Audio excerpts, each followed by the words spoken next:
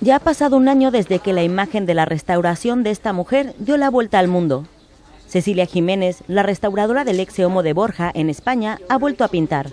Esta vez la etiqueta de una botella de vino de una edición que lleva su nombre. Con ella, Jiménez quiere demostrar que sí sabe pintar un ex Homo.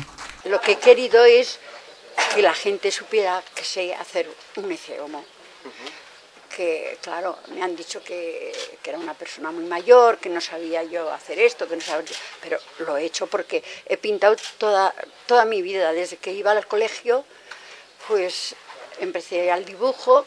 Jiménez contó que el volver a pintar le ha supuesto una alegría muy grande, tras reconocer que lo ha pasado muy mal tras el repentino golpe de popularidad que le supuso su restauración. Este nuevo caldo, amparado por la denominación de origen de Borja, es un vino de la cosecha de 2012 elaborado a base de garnacha seleccionada y se prevé un lanzamiento inicial de 20.000 botellas, aunque la bodega tiene una reserva de 100.000 en el caso de que la demanda aumentara.